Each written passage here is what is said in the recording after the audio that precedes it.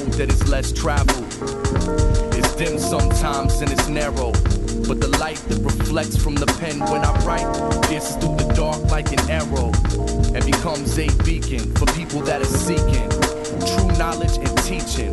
I hope it's y'all that I'm reaching. I stay focused while the world stay feasting on ignorance and embracing demons. I just laugh in the face of you heathens. Cause dark, night, day, light. You need these two opposites to be even. That is the reason I'm breathing. Everybody in this world needs something to believe in. And I believe MCing is the best way to communicate with human beings. Are y'all out there?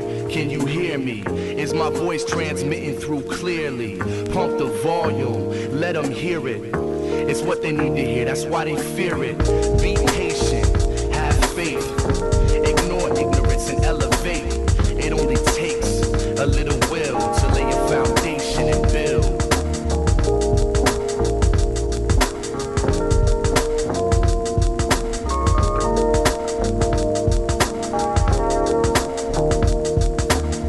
I walk the road that is less traveled.